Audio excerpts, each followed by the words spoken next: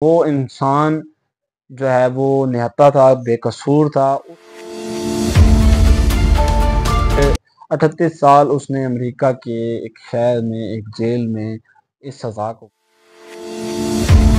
اللہ الرحمن الرحیم۔ السلام علیکم۔ میں آپ کا میزبان بلال حسن۔ تو جو ویورز میرے چینل پہ نئے ہیں میرے چینل کو سبسکرائب کر لیں۔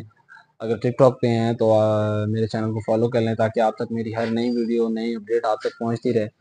تو آج ہم ایک ایسے انسان کے بارے میں بات کرنے جا رہے ہیں کہ جو کہ اٹھتیس برس، تھرٹی ایٹ ایئرز امریکہ کی ایک جیل میں قید رہا اور اس نے جو گناہ کیا نہیں، اس گناہ کے لیے وہ اٹھتیس سال تک اس کے قید میں رہا اور اس کے بعد اس کی وفات ہو گئی۔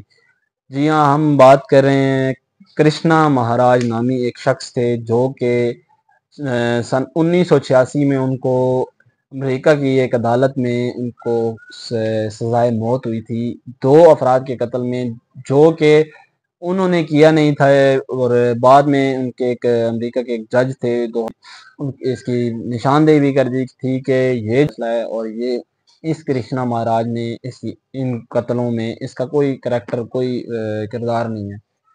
اٹھتیس سال تک وہ انسان اس قید کو کاٹتا رہا، اس سزا کو کاٹتا رہا کہ جو کہ اس نے، جو گناہ اس نے کیا نہیں تھا۔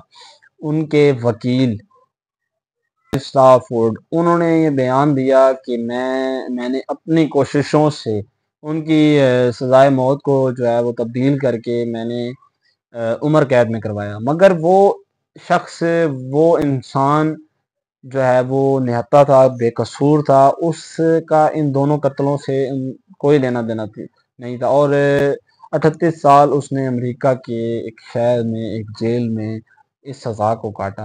اور اب اس انسان کو جو کہ اپنی اس نے لائف گزاری، اب اٹھتیس سال آپ اور میں امیجن کریں کہ ایک آدھا گھنٹہ بھی ہمیں اگر کسی سزا میں، کسی الزام میں رہنا پڑ جائے تو بہت مشکل ہوتا ہے، بہت ٹف ہوتا ہے بٹ وہ ایک نان مسلم تھا بٹ پھر بھی میں اس کے لیے دعا کرتا ہوں کہ وہ جہاں بھی ہو، اللہ اس کے لیے آگے کی مشکلات جو ہے وہ آسان کرے اور حق جو ہے جسٹس جو ہے وہ ہمیشہ اپنا راستہ ڈھونڈ لیتا ہے، سامنے آ جاتا ہے۔ بے شک وہ غیر مسلم ہو یا جو بھی ہو، مگر حق سامنے آ جاتا ہے۔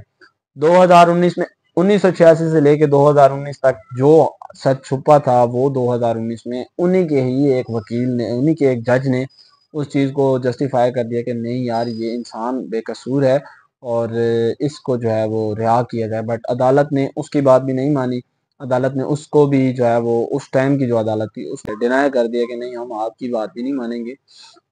تو باقی ہوتا وہی ہے جو اللہ تعالیٰ کو منظور ہوتا ہے۔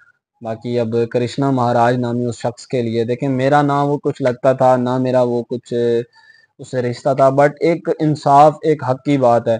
اور حق کبھی بھی چھپ، چھپتا نہیں ہے۔ ایک جھوٹ ہے، اس جھوٹ کی زندگی جو ہے، جتنی بھی لمبی ہو، مگر وہ جھوٹ پرماننٹ نہیں ہوتا۔ سچ ہے، سچ ہمیشہ زندہ رہتا۔ ہے اور اسی کے ساتھ مجھے دیجیے اجازت، اگر میری ویڈیو اچھی لگی تو لائک کریں، کمنٹ کریں، شیئر کریں۔ ملتے ہیں اگلی ویڈیو میں۔ اللہ حافظ۔